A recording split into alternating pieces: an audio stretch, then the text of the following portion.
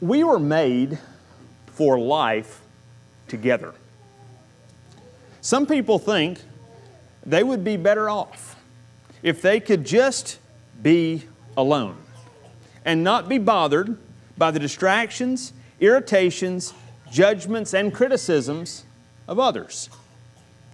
To borrow from the pagan postmodern philosopher Jean-Paul Sartre, hell is other people. That is itself a statement from hell. It is true that some Christians in the past went off to the desert, to islands, or other places to be alone with God. But if you stop reading at that point, you miss what is usually the second portion of the story when many, many of them were eventually then called out of the desert or the island, sometimes physically brought back by assistants to serve in the church. It's also interesting how one particular man that I read a few weeks ago said that battling the devils in the desert prepared him well for serving as a bishop in the church.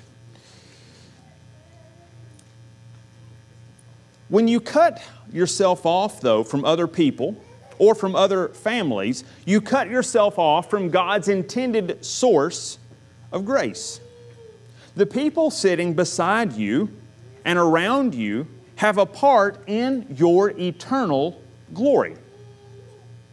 God didn't cause us to come into the world alone. He could have brought you into the world any number of ways. But He brought you into the world by way of a mother and a father. You come into the world in a family. And then families join together in communities. Now, this is not to say that all introverted people should then have a majestic change of personality and become extroverted, and all the extroverted people should drink coffee and become even more so. We don't have to worry, that won't happen. But it is a call to resist what is sometimes our natural tendency to isolate ourselves. There are times when we should be alone. And sometimes, if, you're, if you are afraid of spending any time alone, that itself is a problem. But escaping from people will not free you from sin. It will keep you trapped longer in your sin. So give yourself to the sanding, scraping, and chiseling of being with others.